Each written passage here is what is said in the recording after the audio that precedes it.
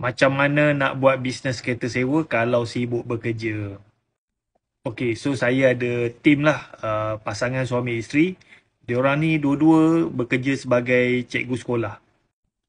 So sebulan dia boleh dapat untung dalam 2,000 ke 3,000 lah. Dia ada dalam 4 ke 5 biji kereta lah.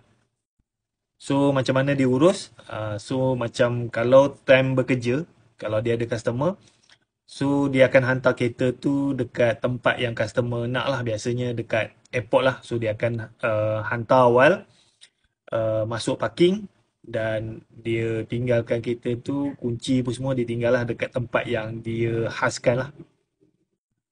So bila customer sampai uh, dia just inform customer kereta ada dekat parking scan-scan kunci ada dekat scan-scan uh, so customer boleh ambil kunci uh, buka kereta dan boleh jalan lah.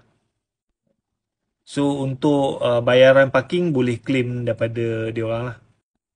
Dan bila customer nak return kereta, kalau dia orang masih bekerja, so dia orang suruh je customer ni letak dekat tempat uh, yang dia khaskan. Uh, kunci simpan dalam kereta, lock kereta dan boleh uh, customer boleh balik lah. Dan dia orang ni uh, lepas habis kerja je, uh, waktu malam, uh, dia orang akan pergi lah ambil kereta tu. So cikgu sekolah ni biasanya dia akan sewakan kalau time bekerja lah dia akan sewakan 2 ke 3 hari ke atas lah. Lepas tu kalau macam time cuti sekolah uh, hujung minggu ke uh, dia boleh uh, hantar kereta siang atau malam lah tak ada masalah.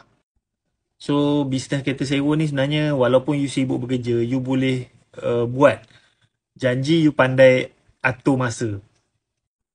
Okay, saya ada ada je banyak tim saya yang masih lagi bekerja, sibuk bekerja tapi dia orang boleh uruskan bisnes kereta sewa dan ada yang menjana pendapatan RM5,000, ha, ada yang RM10,000, ada yang RM15,000 sebulan.